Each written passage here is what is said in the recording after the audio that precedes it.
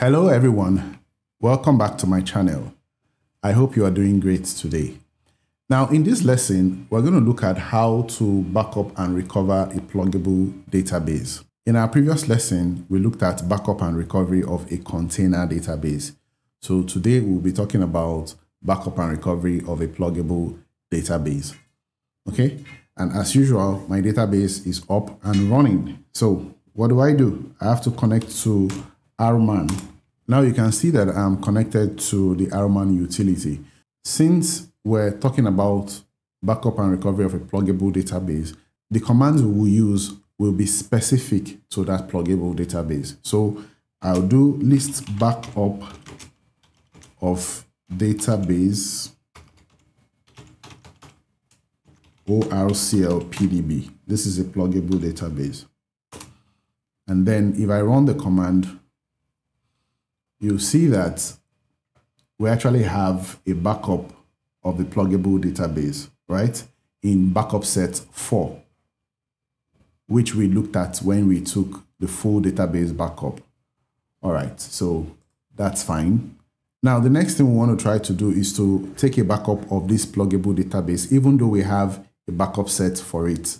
Let's take another backup. You can see that we are being specific by stating the pluggable database ORCL PDB. Okay, so we are using the command backup database ORCL PDB plus archive log. Right? So let's execute and wait for this backup to complete. Okay, you can see that the backup is completed. Now, if we list backup of database ORCL PDB. We'll see all the backup sets that we have for this pluggable database, right? Okay, so the next thing we want to try to do now is to carry out a destructive action on the pluggable database. And what is that destructive action? I'm going to the Oracle home right now. I'll go to other locations computer, U01, app, Oracle. Then I'll go to oradata, ORCL. Now we have a lot of pluggable database that we created that we created in the past. Okay, we've dropped a whole lot of them, but I am more interested in ORCL PDB. That's the pluggable database we're working with. So let me open this and, and then let me delete the system data file. So this is deleted. Now this will cause some issues for the database, okay? So we'll try to resolve this issue. Let me exit from here and clear my screen. Now, if I try to log in as the sysdba, okay, and then I run the command show PDBs. You can see that ORCL is open in read-write mode, right? But let me try to run this command. Alter pluggable database ORCL PDB.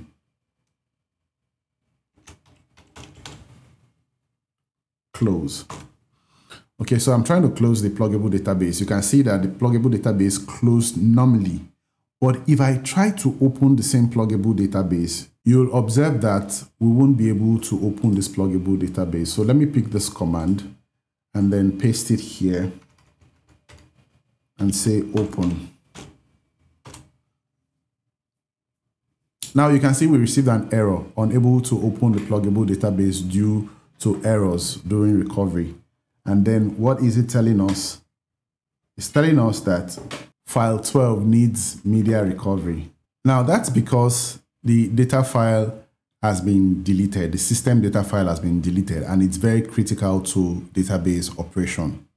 So what are we going to do in this situation? Very, very simple. First, let's exit from the SQL terminal and then Let's start the RMAN prompt again. So we are connected to the RMAN, and then we will execute the following commands in a run block. I told you in our previous lesson that we can run all of those statements in a run block at once instead of running them as single statements. Okay, so this is what so this is what a run block looks like. You can see run and then you have all the statements inside the run block. So as it is right now, database recovery is ongoing. See what our run block looks like. Run and then open a curly bracket, restore pluggable database ORCL PDB, recover pluggable database ORCL PDB, and then alter pluggable database ORCL open. These are the statements we are using. Okay, so recovery is complete. Okay, now let's exit this place and then try to connect as sysdb again. Now, if we say alter pluggable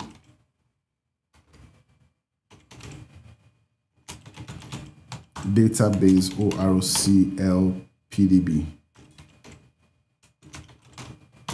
Open. Pluggable database already open. So let's shut it down. Let's shut it down and open it again because um, yes, we had that command in our run block. So let me quickly paste this. Close. Database altered. And then let me open it again to see that we can open the pluggable database. We can open our pluggable database again.